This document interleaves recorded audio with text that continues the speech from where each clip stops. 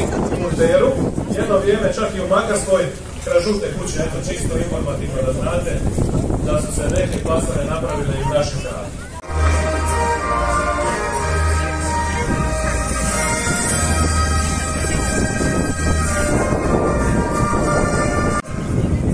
Može jedan veliki pljesak za sve sudionike. Bravo ljudi, svakom čast!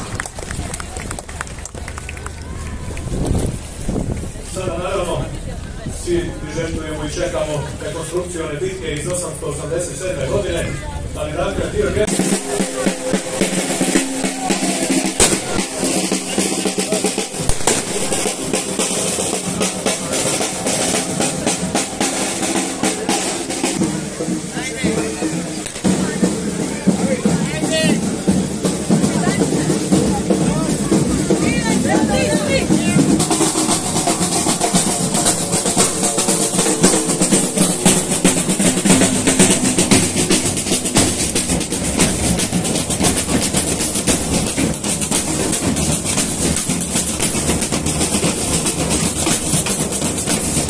We managed the Croatian army was uh, taken this day as the day of Croatian Navy.